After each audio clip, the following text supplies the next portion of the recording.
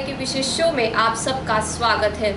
पिछले एपिसोड में हमने आपको बताया कि अपात्र लोग एसआरए में कैसे पात्र हो सकते हैं, उसके बारे में। आज हम आपको बताएँगे एक ऐसे अपंग परिवार की दास्ता, जो ज़मीन मालिक होने के बावजूद पिछले आठ सालों से अपने हक का घर पाने के लिए संघर्ष कर रहा है। गरीबों के विकास के लिए बनाई गई झोपड़पट्टी पुनर्वास योजना से मुंबई में लाखों लोग परेशान है। बिल्डर एसआरए वालों से साठ घाट कर कई लोगों को बेघर कर रही है। बिल्डर के धोखे के कारण आज एक अपंग परिवार पिछले आठ दस सालों से संघर्ष कर रहा है कि उन्हें उनके हक का घर मिल जाए। लेकिन हमारे सरकार की लापरवाही के कारण ये परिवार इतना परेशान हुआ है कि मंत्रालय में जाकर आत्मदाह करने की बात कर रहा है। बता दें कि पीड़ित व्यक्ति का नाम तुलसी रमेश वाघेला है, जो मुंबई के खार में रहते हैं। और जिस जगह पर बिल्डर ने बिल्डिंग खड़ी की है, उस जगह के वो मालिक है। लेकिन बिल्डर के धोखे के कारण आज वो सड़क पर रहने के लिए मजबूर हो गए हैं। सर्वेश जी, कुछ दिन पहले हमारे पास एक अपंग परिवार आया था, जो एसआरए और बिल्डर के कारण इतने परेशान हो चुके हैं कि वो अपने पूरे परिवार के साथ मंत्रालय में जाकर आत्महत्या करने वाले थे। लेकिन हमने उनको रोका, उनके घर के सारे पेपर्स देखे और हमने उनको आपसे मिलने के लिए भी भेजा था। तो आपको उनके पेपर्स देखने के बाद क्या लगा? जो उनके पेपर देखने के बाद ऐसा लगा कि ऐसा बॉम्बे में कई सालों से मैं सारे में बहुत सारे लोगों को मैं पात्र कराने के लिए या रेंट नहीं मिला, बहुत सारी चीज़ों पे मैं काम कर रहा हूँ। मगर पहला ये केस मुझे मिला है, ऐसा केस मुझे भी आज तक नहीं मिला था। ये केस जो है रमेश तुलसी वाघेला, इन्होंने मुझे 14 फरवरी को मेरे को अपना लेटर दिया था। फ़र्स्ट हेल्पलाइन फाउंडेशन एक मेरी एनजीओ है, जो एनजीओ के तहत मैं लोगों के लिए फ्री में ये काम करके देता हूँ। पात्र हो या उनका घर दिलाना या उनको भाड़ा दिलाना या जो भी होती है सारे की इशू उसके माध्यम से हम लोग ये फ्री में काम करके देते हैं। इसके लिए हमारी कई टीम लगी हुई है। हमारे सात से आठ लोग काम करते हैं इसके पीछे कि लोगों को, गरीब लोगों को कैसे मिल सके न्याय। उन्हें जानकारी नहीं होती है पेपर की जानकारी नहीं। इसलिए हम लोग इनकी मदद करने के लिए एनजीओ में हम लोग काम कर रहे हैं और एनजीओ चला रहे हैं इसके लिए स्पेशल अच्छा अब इनके पेपर के बारे में आपको मैं बता रहा हूँ। कुछ पेपर्स भी दिखाऊँगा आपको। 1972 में जो रमेश तुलसी वाघेला है, उन्होंने कन्वेंस हुई थी प्रॉपर्टी की और ये प्रॉपर्टी के पेपर्स हैं। मैं आपको दिखाना चाहूँगा। ये 1972 के हैं कन्वेंस प्रॉपर्टी है, जिसके हिसाब से ये प्रॉपर्टी के ओनर हैं। अच्छा इन्होंने प्रॉपर्टी के ओनर होने के बावजूद इन्हें 2015 तक अपात्र भी बताया जा सकता है। ये मैं पहली बार देख रहा हूँ कि जब किसी से लैंड की एग्रीमेंट अगर नहीं हुई होगी बिल्डर ने कुछ भी नहीं किया तो ये अपात्र या तो ये थे या नहीं थे। समझ में इसमें मुझे कुछ भी नहीं आया कि अगर बिल्डर इनसे बिना बात किए तो प्रोजेक्ट कर नहीं सकता। तो पहले बिल्डर इन्हीं के पास गया होगा। तो इनसे जो भी बात हुई होगी इनकी। इसके बाद उन्होंने प्रोजेक्ट स्टार्ट किया होगा। ये जो एल वाई उनकी आई हुई है, एक पेपर में आपको बताऊँगा, जिसमें कहा बड़े लेवल के स्कैंडल कहाँ हुई है, मैं आपको भी बताऊँगा कि यहाँ पे ये स्कैंडल हुई है। 15 सितंबर 2005 को उनको एक एलवाई दी गई थी, ये एल की कॉपी अच्छा इस एलवाई की कॉपी में एक और चीज़ है कि जिसमें वहाँ पे उस टाइम बता रहे हैं, सिर्फ़ 12 रेजिडेंशियल टेनेंट थे। अगर उस टाइम पे सर्वे हुआ होगा टेबल सर्वे हुआ होगा, सारे स्ट्रक्चर काउंट हुए होंगे, सब कुछ एक कलेक्टर के थ्रू होता है। वहाँ पे एडिशनल कलेक्टर उस टाइम पे अथॉरिटी थी जो लोगों को पात्र पात कर रहे थे। तो अगर वहाँ पे बारह स्ट्रक्चर थे उस टाइम पे, ये एलवाई उनका कह रहा है। एलवाई के हिसाब से वहाँ पे सिर्फ़ बारह टेनेंट थे। और आज के डेट में फिर से वापस उसमें फिफ्टी टेनेंट हो गए। तो बारह से फिफ्टी हुए कैसे? अगर उस टाइम पे, या तो उस टाइम का सर्वे गलत हुआ था, या आप सर, जो बनाया गया और लोगों को फ्लैट बांटा गया, वो गलत किया गया। दो में से एक हुआ है। या तो पहला गलत है, या अभी का गलत है। पहला गलत तो हो ही नहीं सकता, क्योंकि उन्होंने एडवाइस दिया हुआ है। और दूसरा, इसलिए गलत हो सकता है कि लोगों को पात्र करके घर बेचने का काम हो सकता है, इसलिए सेकंड वाले में ये सब कुछ नहीं है अब मैं एक और चीज़ आपको बताऊँगा। 2007 में जब जाते हैं तो टू ये 2005 की एलवाई थी।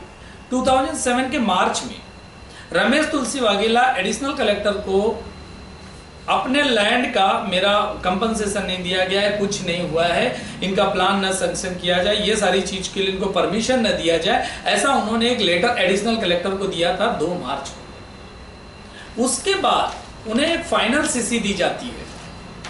काम करने के लिए जो उनको सीसी दी जाती है 11 सितंबर 2007 को। अगर 2 मार्च को 2007 को किसी की जिसकी लैंड है, लैंड ओनर ने अगर ऑब्जेक्शन लिया है तो उस पर काम नहीं किया जा सकता है। तो उसके छह महीने बाद उसको फाइनल सीसी काम करने के लिए परमिशन दी गई, वो कैसे दी गई? इसका मतलब ये हुआ है कि इसके अंदर भी इसमें धांधली हुई है। क्योंकि जब तक आप किसी की लैंड की एक्विजिशन नहीं कर लेते हो, अगर मान लीजिए सारे डिक्लेयर है, ये प्लॉट सारे डिक्लेयर है, अगर लैंड की एक्विजिशन नहीं होती है और जब तक लैंड की आप एक्विजिशन नहीं करते हैं, तब तक आप उस पर काम नहीं कर सकते। या ओनर से आपका कंसल्ट होना चाहिए ओनर आपके साथ रेडी होना चाहिए तो काम करना चाहिए तो आप काम कर सकते हैं। यहाँ पे ओनर ऑलरेडी 2007 में ऑब्जेक्शन दिखा रहा है। और ये 2007 में इनको वापस से, इनको फाइनल काम करने की सीसी दी जाती है। उसके बाद इन 2007 में मई में बिल्डर कंसल्ट और एग्रीमेंट सुनील उनका बेटा एक सुनील वाघेला और एक है रमेश तुलसी वाघेला। बा, पिताजी और बेटे दोनों जन के नाम पे वो एग्रीमेंट भी कंसर्न करते हैं और कंसर्न भी करते हैं इन 2007 में। और एनेक्चर टू में उनका नाम है ऑलरेडी एक जन का नाम है, पिताजी का नाम है, बेटे का नाम नहीं है। और यहाँ पे अगर 2005 में जब एलवाई आ रही है, उसमें 12 मेंबर थे और 2006 में मैं देख रहा हूँ, उसके अंदर सीधा 51 मेंबर हो जाते हैं। ये कहाँ से आए लोग? अच्छा दूसरा, इसके अंदर एक एक फैमिली से, एक वागरी फैमिली है इसके, इस, इसमें से पाँच पाँच घर छह छह घर एक एक जन के नाम पे है।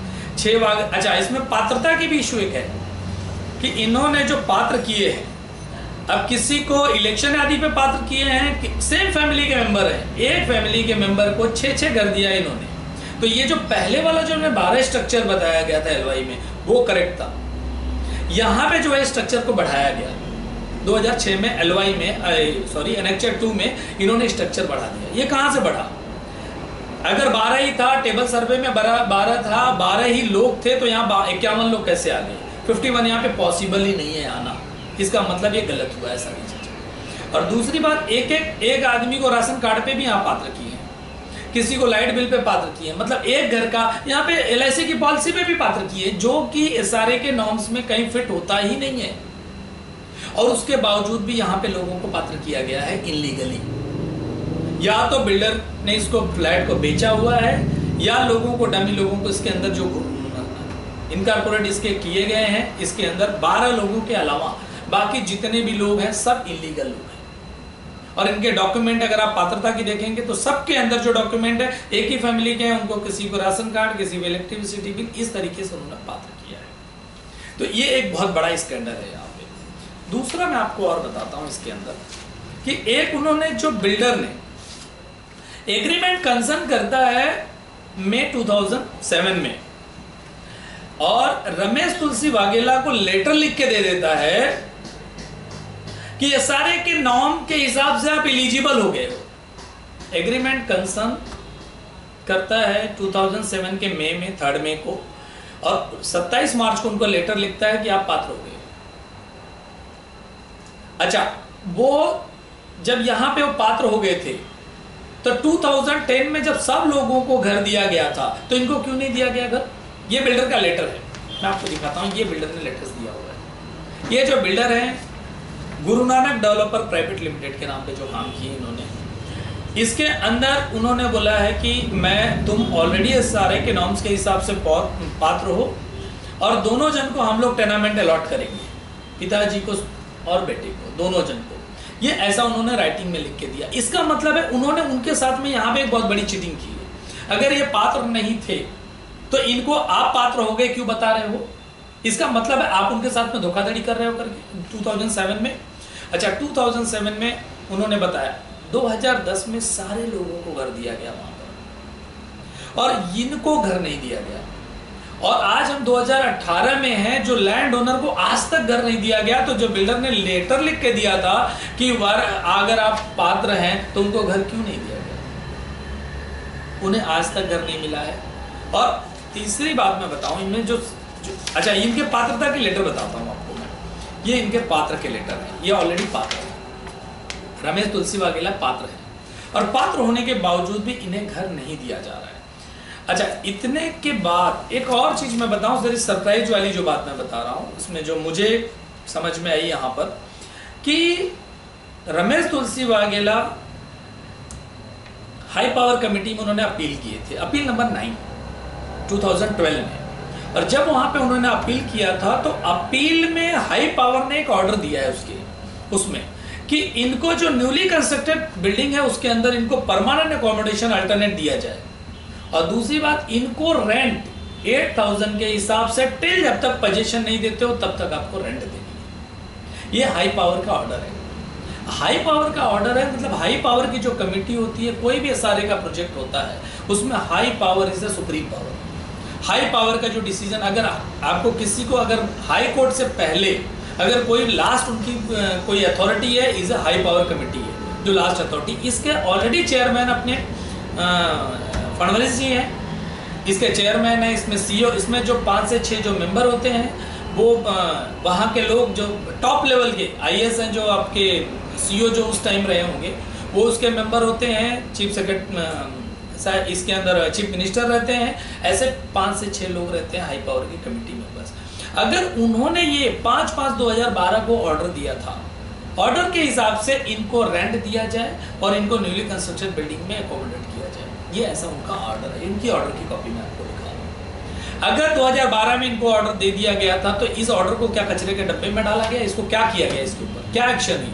उनको आज तक भाड़ा नहीं मिला है। आज मैं वहाँ पर जा करके मैंने विज़िट भी कर कर आया वो वहाँ पर बिल्डिंग के कोने में एक प्लास्टिक डाल करके नीचे ज़मीन पर बैठे हुए हैं। और वहाँ पे रमेश बागेला, उनकी पत्नी, उनके जो बहू है, बेटी है, जवान लड़की है, उस तरीके से वहाँ पे रह रहे हैं, खुले में उन लोग। और आज उनके साथ में कल कोई हादसा हो जाता है, उसके लिए कौन रिस्पॉन्सिबल है? कोई नहीं। तो यहाँ पे जब हाई पावर के ऑर्डर पे भी अगर कुछ काम नहीं होता है तो लोग कहाँ जाए?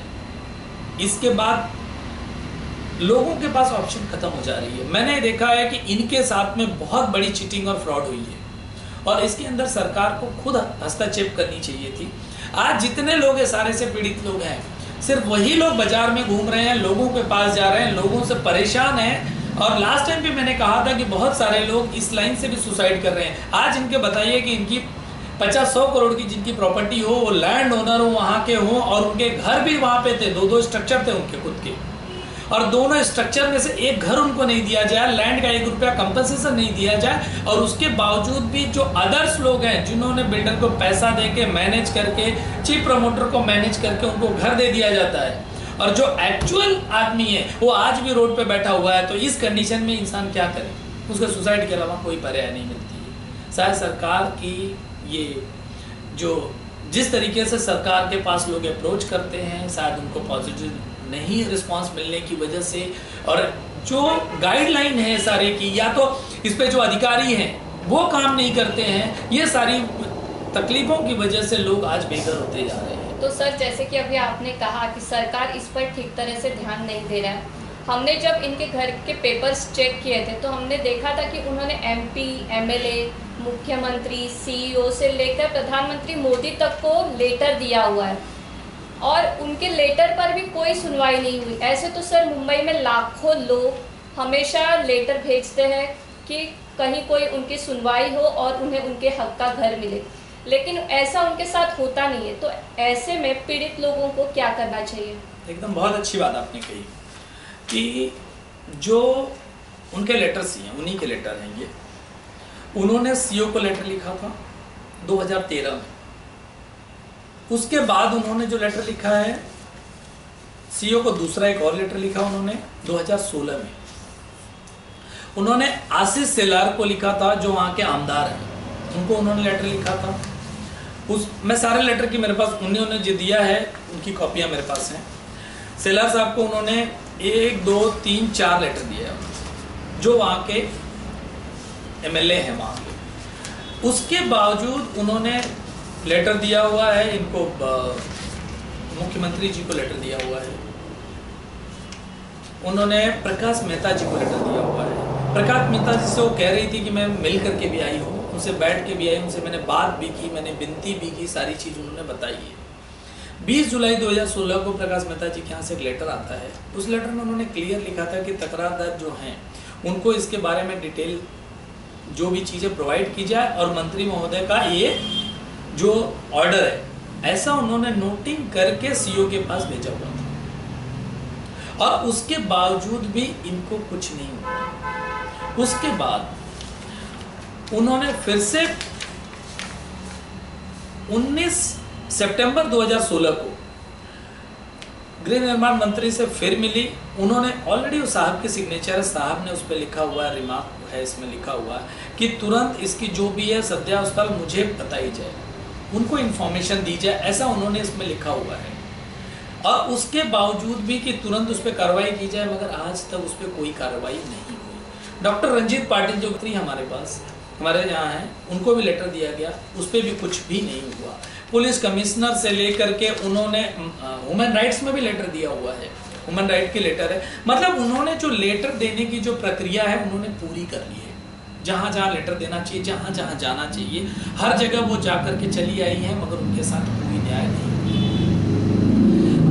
अगर यहाँ पे जब गृह निर्माण मंत्री, मुख्यमंत्री सब लोगों के पास जाएँ, लोग अपनी पेपर्स देवें, अपनी बात कहें, सब कुछ कहने के बावजूद, अगर उन्हें घर नहीं मिले तो लोग कहाँ जाएँगे हम कह रहे हैं सरकार की, हमारे यहाँ की बहुत अच्छा चल रहा है। मोदी जी कहते हैं, बहुत अच्छी बात है कि सबका साथ, सबका विकास। यहाँ पे तो ये हो रहा है कि सिर्फ़ बिल्डर का विकास हो रहा है। साथ तो गरीबों को लेके कोई चल ही नहीं रहा है। सिर्फ़ बिल्डर का विकास हो रहा है, बाकी लोगों को मार करके विकास किया जा रहा है, गरीबों को मार करके। यहाँ पे उनकी जो स्लोगन थी हमें लग रहा था। हम भी सोच रहे हैं कि ये बहुत सारी चीज़ें जो मोदी जी कहते हैं, उसके हिसाब से अगर इम्प्लीमेंट हो तो हमारे देश में बहुत सारी साफ़ सुथरा हो जाएगा। बहुत सारे जो काम है, बहुत अच्छी तरीके से चले। मगर यहाँ पे ऐसा हो रहा है कि जो भी है, अगर चीफ मिनिस्टर ने कार्रवाई लेटर दिया, उन्होंने मिल, जाके आई, वहाँ से कार्य, उनका काम नहीं हुआ। गृह निर्माण मंत्री जो उनका खाता है अगर उन्होंने दो दो लेटर लिखते हैं और उसके बाद भी आईएएस ऑफिसर वहाँ के जो सेक्रेटरी हैं, वहाँ पे जो डिप्टी कलेक्टर हैं, उन लोग काम नहीं कर रहे हैं तो ये तो गृह निर्माण मंत्री के ऊपर है सारे। वो उनके अंडर में काम करते हैं कि गृह निर्माण उनके अंदर में काम कर रहे हैं? तो अगर उनके लेटर पे कार्रवाई हुई तो इमीडिएट एक्शन हो सकती है। ये एक्शन के लिए दो मिनट का काम है। सारे लोगों का एक लेटर वहाँ से भेजे, सारे लोग आ जाएँगे। मंत्रालय में दो मिनट में बहुत सज्जन की सस्पेंड हो जाएँगे इसके अंदर। सस्पेंड कर सकते हैं, इनके पास सारी पावर है। मगर पावर उन्हें यूज़ करनी है जब तक वो अपनी पावर को यूज़ नहीं करेंगे, वो कुछ भी नहीं करेंगे तो पब्लिक के साथ कोई न्याय नहीं हो सकता। आज यहाँ पे यही हो रहा है कि जो, या तो मंत्री जी उस पर ध्यान नहीं दे रहे हैं। अगर लेटर देने के बावजूद अगर आपके लेटर पे कार्रवाई नहीं हो रही है, क्या मजाल है सीओ होने दीजिए या सेक्रेटरी होने दीजिए, वहाँ का या डिप्टी कलेक्टर कोई भी होने दीजिए वो अंडर गृह निर्माण के अंदर में काम कर रहे हैं। और उनके ऑर्डर के बावजूद भी अगर वो नहीं मानने को तैयार है तो क्या करना चाहिए? तो ये हर आदमी क्या कोर्ट में जाए? अगर ये गरीब आदमी, ये लेडीज़ है, ये पर्स बेचती है पर्स बेच के दो रुपया कमाने के लिए, उसको खाने के लिए, जीने के लिए, उसको इतनी तकलीफ़ है, वो कोर्ट में कहाँ से जाएगी? वो कोर्ट में कितने साल जाके केस लड़ेगी? इसके पैसे कौन देने वाला है? ये तो सरकार को सोचना पड़ेगा। आज जितनी चीज़ें हैं, सरकार को बहुत तरीके से ध्यान में लाया जाता है, मगर सरकार की तरफ़ से अगर यही नकारात्मक रवैया रहा तो लोगों को सुसाइड करने से हम आप हैं, हमें हमारे पास आई है, हमें बताया उन्होंने, मैंने बोला, ठीक है, मैं आपकी लड़ाई लड़ूँगा। आपको मैं घर दिलाने में जो मेरे से हो सकता है, मैं सारा आपको करूँगा। मैं पूरी तरह कर रहा हूँ जो मुझे करना चाहिए। अब यहाँ पे रहा कि जो मिनिस्टर के पास जाने के बाद भी अगर काम नहीं हो रहा है लोगों का तो वो कहाँ जाए? अब होम मिनिस्टर से मिल चुके, चीफ मिनिस्टर से हो गया उनका स्टेट के होम मिनिस्टर से मिल चुकी, गृह निर्माण मंत्री से मिल चुकी, पुलिस कमिश्नर से मिल चुकी, वहाँ के एमपी से मिल चुकी, वहाँ एमएलए से मिल चुकी है। अब उनके पास क्या, कहाँ जाए? कहाँ रास्ता बचा है? मिलने के लिए कोई जगह नहीं बची है। अब उसके बावजूद भी अच्छा सबसे बड़ी बात मैं बताऊँ, दोनों हस्बैंड वाइफ अपाहिज हैं। वो मुझे बहुत बुरा लगा कि एक अपाहिज महिला 80 परसेंट बर्न है वो लेडी और वो इतना भाग रही है, आठ साल से जो जिन लोगों का घर नहीं था, जिनकी ज़मीन नहीं थी, जिनका उससे लेना देना नहीं था, वो लोग उस घर में रह रहे हैं। एक एक आदमी छः छः घर लेके वहाँ पे रह रहा है। और जिसकी ज़मीन थी, जो मालकिन थी, जिसका खुद का दो घर था, उसको बेघर करके रोड पे बिठाया गया बिठाया गया है। ये हमारे देश की विडम्बना है। शायद हम लोग अगर कुछ कहने लगते हैं तो लोग कहते हैं कि सरकार के अगेंस्ट कह रहे हैं।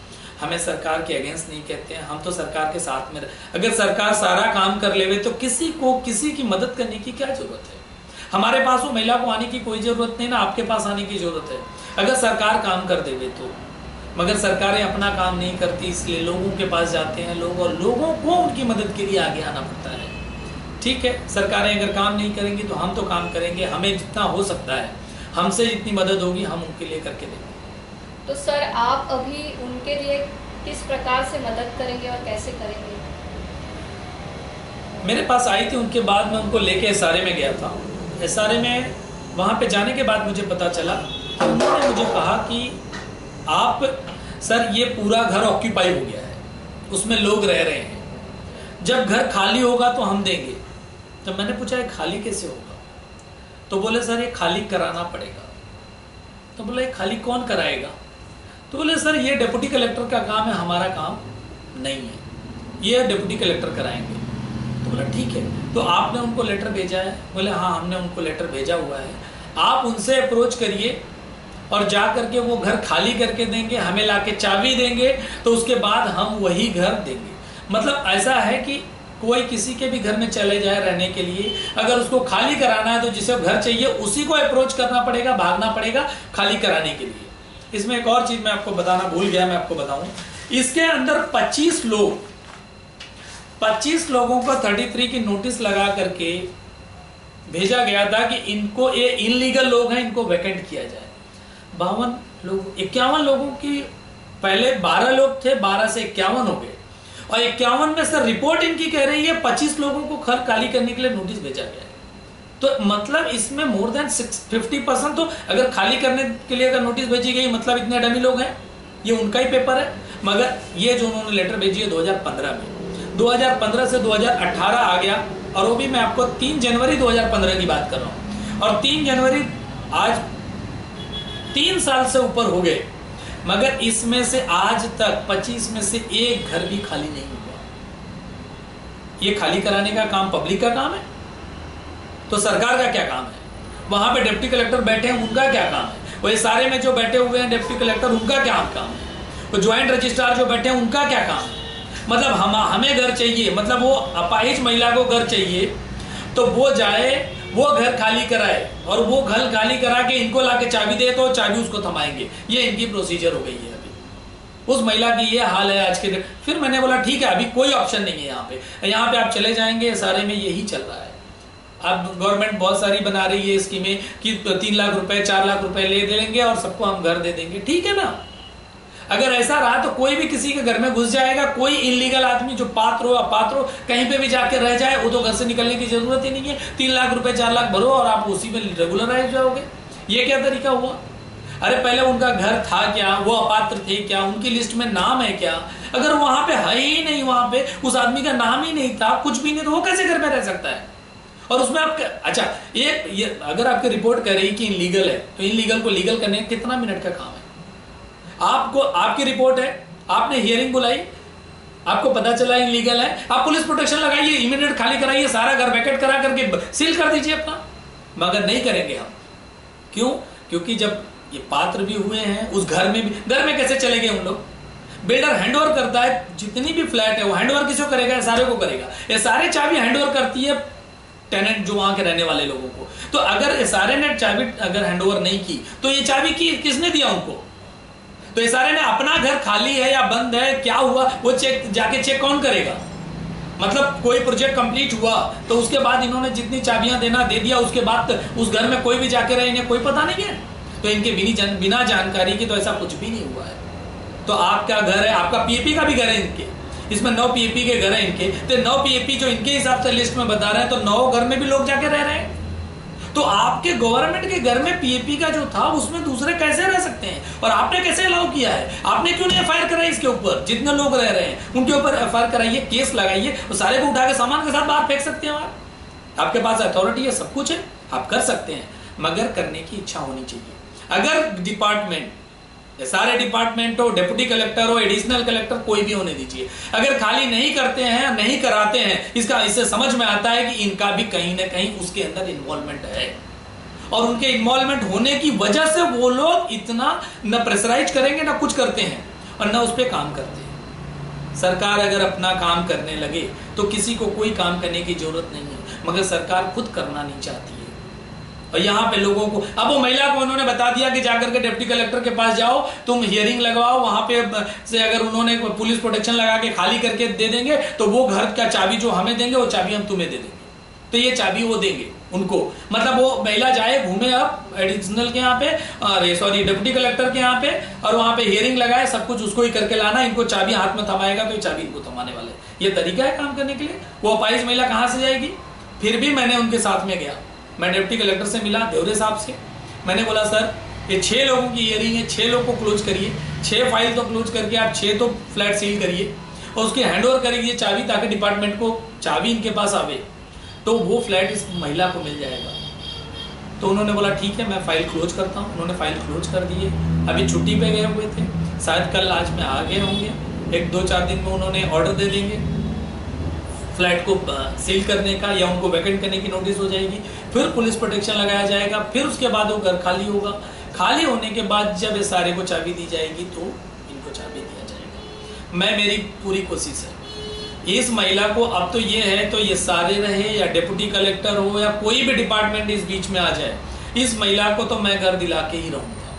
चाहे उसमें कुछ भी हो जाए, चाहे कोई डिपार्टमेंट बीच में आए, मुझे कोई फ़र्क नहीं पड़ता है।